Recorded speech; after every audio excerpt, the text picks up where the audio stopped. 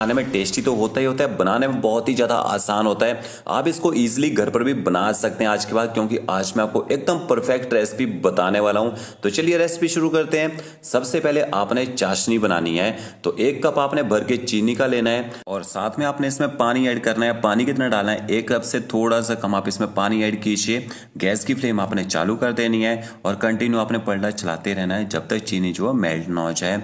तो high flame में आप चीनी को मेल्ट कर लीजिए पानी के साथ में ये देखिए, आप देख सकते हैं, चीनी मेल्ट हो चुकी है। इसके बाद आपने चार से पाँच मिनट तक मीडियम फ्लेम में चाशनी को पकने देना है। और साथ में इसमें थोड़ा सा इलायची पाउडर ऐड कर दीजिए। इलायची पाउडर नहीं है, दो से तीन इलायची लेनी है उनको कूट के डाल सकते हैं। इसको भी अच्छी तरह से मिक्स कर लेते हैं। और अगर आपको इलायची का फ्लेवर पसंद ना हो तो आप इसको स्किप कर सकते हैं। और के देखिए, चार से पाँच मिनट तक मैंने चाशनी को यहाँ पे पका लिया है। अब आपने चाशनी कैसे बनानी है? जो चाशनी रहती है ना, एक तार वाली चाशनी बनानी है। देखिए थोड़ा सा चाशनी को ठंडा कर लीजिए पलटे के ऊपर। और चाशनी को आपने देखिए, हाथों के ऊपर इस तरह से मसलना है और इसके बाद इस तरह से आप तार को चेक कर लीजिए। तो इस तरह की तार बननी चाहिए चाशनी के अंदर। ये हमारी जो चाशनी है, तैयार हो चुकी है। इसके बाद आपने गैस की फ्लेम बंद कर देनी है और चाशनी को आपने ठंडा होने देना है। तो जब भी आप घेवर बनाए, सबसे पहले आपने चाशनी बना के ही तैयार करनी है। और यहाँ मैंने देखिए, एक कप भर के मैदा लिया है और वन फोर्थ कप यहाँ पे मैंने देसी घी लिया है। आप देसी घी की जगह बनस्पति घी का यूज़ कर सकते हैं घेवर बनाने के लिए। बड़ा सा बाउल लेना है और उसके अंदर आपने पहले घी ऐड कर देना है और घी को आपने ना मेल्ट करके डालना है यहाँ पे। इसके साथ में चार से पाँच क्यूब आपने बर्फ़ के लेने हैं और बर्फ़ के क्यूब्स को आपने देखिए घी के साथ अच्छी तरह से मिक्स कर लेना है। इस तरह से आप बर्फ़ और घी को मिक्स करेंगे, आपका घी अच्छी तरह से जम जाएगा। ये देखिए, इस प्रोसेस को आपने ज़रूर करना है यहाँ पे। अब घी हाथों के साथ चिपकेगा, कोई चक्कर नहीं है, क्योंकि अभी हम इसमें मैदा भी ऐड करेंगे। तो जैसे आप इसमें मैदा ऐड करेंगे तो आपके हाथों में जो घी चिपका होगा, वो सारे का सारा छूट जाएगा। ये देखिए थोड़ा थोड़ा करके आपने मैदा ऐड करना है।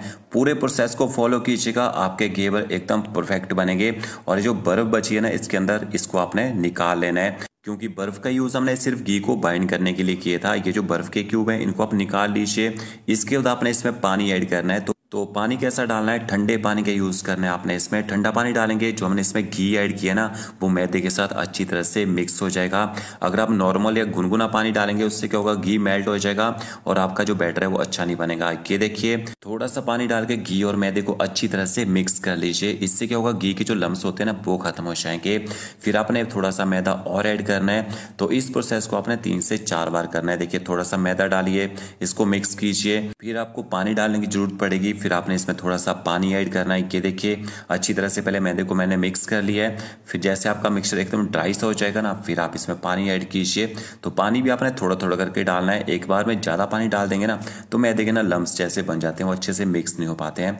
तो कितना टाइम लगेगा आपको इस प्रोसेस को करने के लिए? पाँच से छः मिनट में आपका जो मिक्सचर है, वो तैयार हो जाएगा। पाँच से छः मिनट तक आप इस बैटर को बनाने के लिए मेहनत कर लेंगे ना, आपके घेवर मार्केट से भी अच्छे बनेंगे।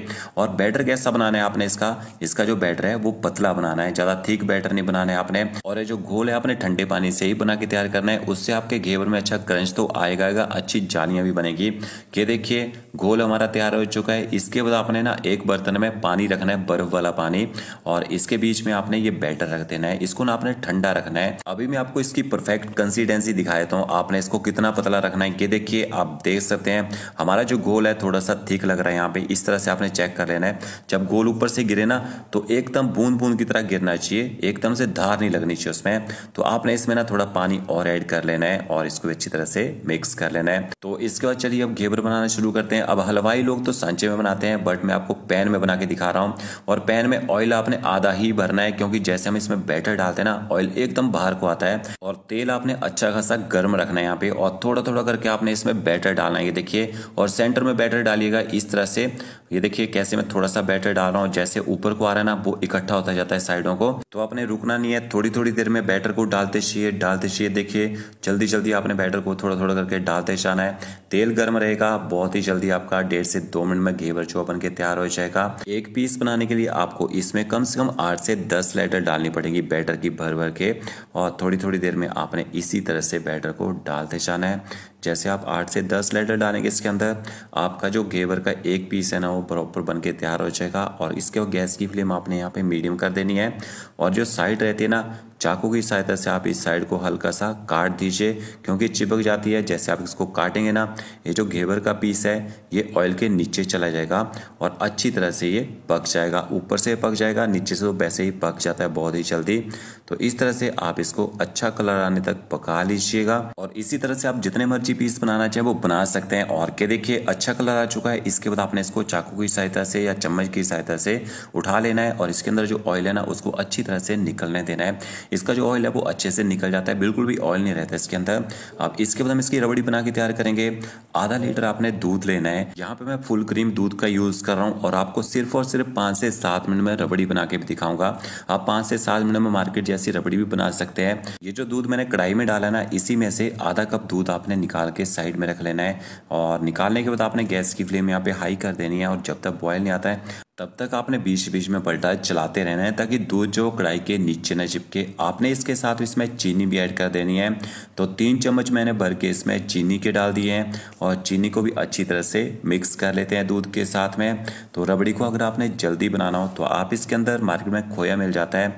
वो डाल सकते हैं थोड़ा सा, अगर आपका खोया ना हो, आप इसमें थोड़ा सा मिल्क पाउडर डाल सकते हैं। तो यहाँ पे मैंने आधा कप मिल्क पाउडर लिया है। दस बीस रुपए का पैकेट मिल जाता है मार्केट में इजिली मिल्क पाउडर का। इसके साथ में जो मैंने दूध निकाल के रखा था, उसको अच्छी तरह से मिक्स कर लेंगे। और मिल्क पाउडर को दूध के साथ आपने अच्छे से पहले मिक्स